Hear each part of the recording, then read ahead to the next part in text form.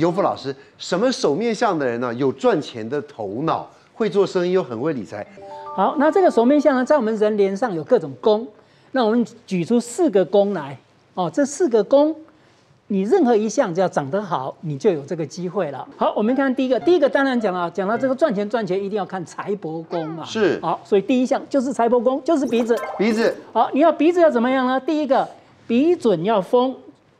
然后，然后旁边的鼻翼要张开，准头，准头是赚钱，张开的这个鼻翼呢是存钱，合在一起就是理财。所以这个呢条件要配合的话，就表示你赚钱能力很强，财气很够，很会赚钱。我一直很抱怨我的鼻翼耶，因为美女的不要，美女的鼻翼都是这样子，很漂亮。千万不要，我就觉得我很大很丑。哦不不不，这样的不会赚钱，鼻翼要张开。你在讲说美女要这样子，对，那这在钱财方面反而存不住。对对厘清一下，你讲的是美女，美女，我们现在讲的是钱女。我想要美女。板娘，板娘，板娘，你一年营业额多少钱？我营业额，你说一年吗？嗯，一年大概六。说多少？去年是六亿多啊。哦，厉害呀！去年是六亿多。好，第一项我们财帛宫就是看鼻子赚钱赚钱。好，我们看一下第二项，第二项呢叫财源宫，钱财的来源，钱财来源在哪里？在眼睛啊。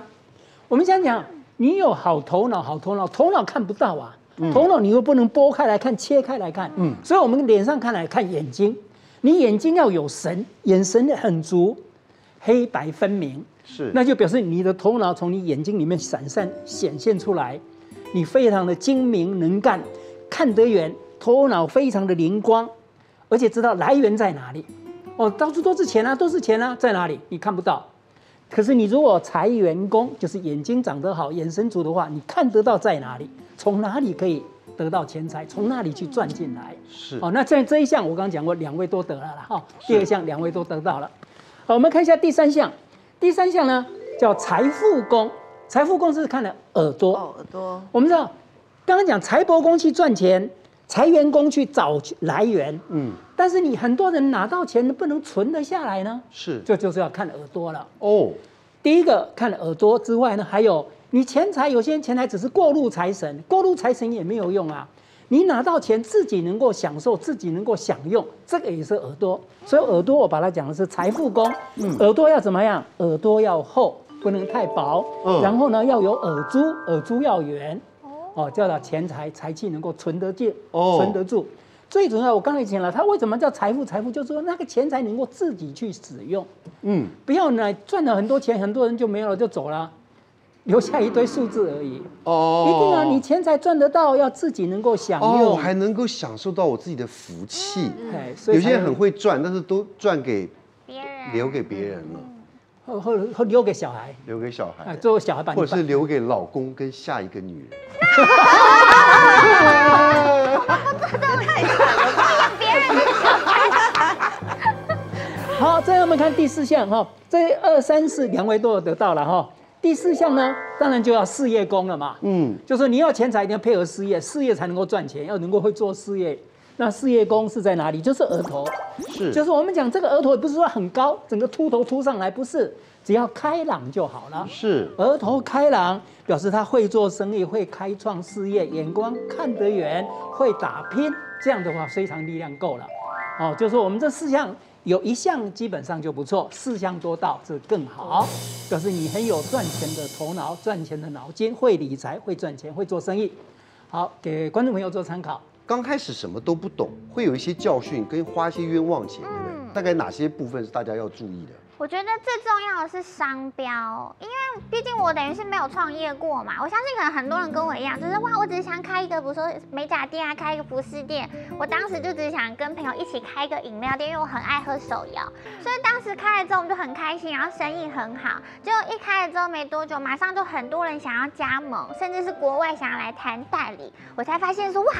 这事情不得了了，演变到国际化了，就开始我们很认真去，比如说我有去上课啊，然后去了解我们要如何做这种国际化的企业，然后等差不多准备就绪要准备开的时候，发现嗯，有人注册了我们的商标，哈，对，而且备注有那种呃商标蟑螂。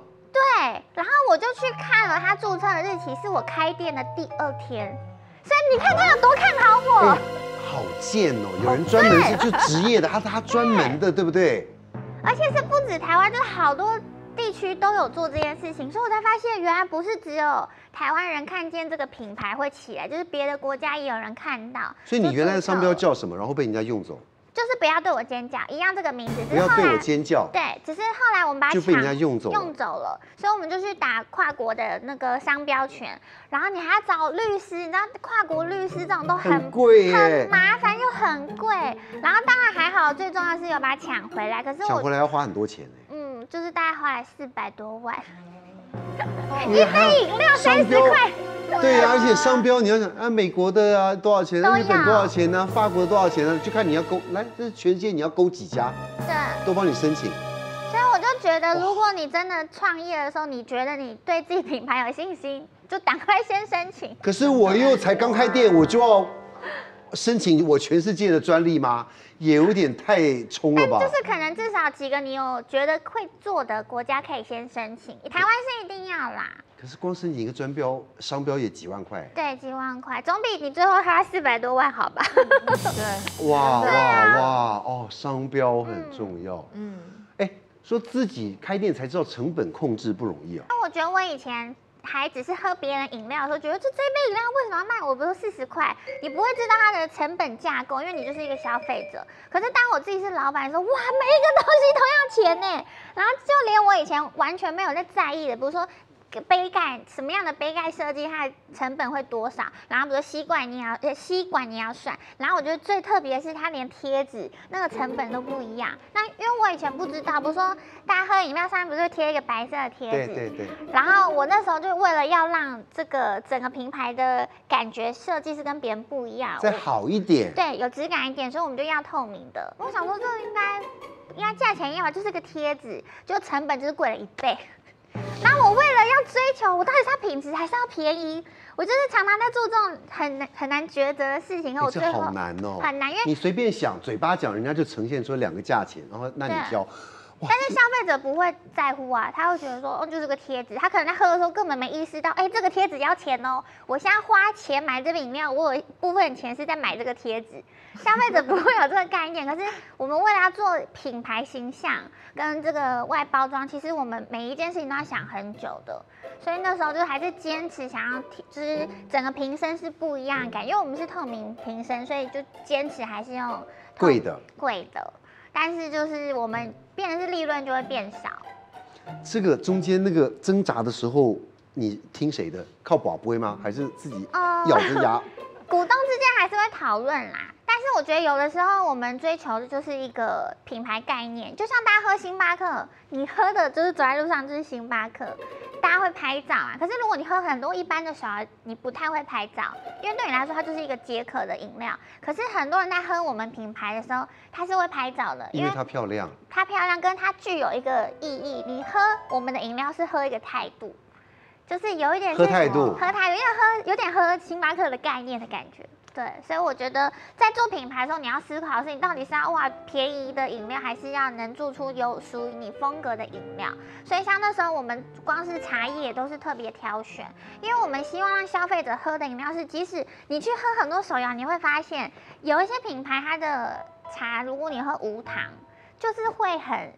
色，然后你会喝得到它的渣，可是如果你挑好一点的茶叶，是不会有这样的问题的。真的啊，便宜的是用茶叶沫子去泡的，或者混合茶叶，或者是它的有喷茶精，所以它茶叶很香，可是其实茶叶本质是不好的。还有茶精这种东西哦，所以我就是白水喷一点茶精就，哇，有这种东西哦。对，然后它那成本超便宜，它那一小罐可能就可以做可能五百杯的饮料，但那那一瓶超便宜。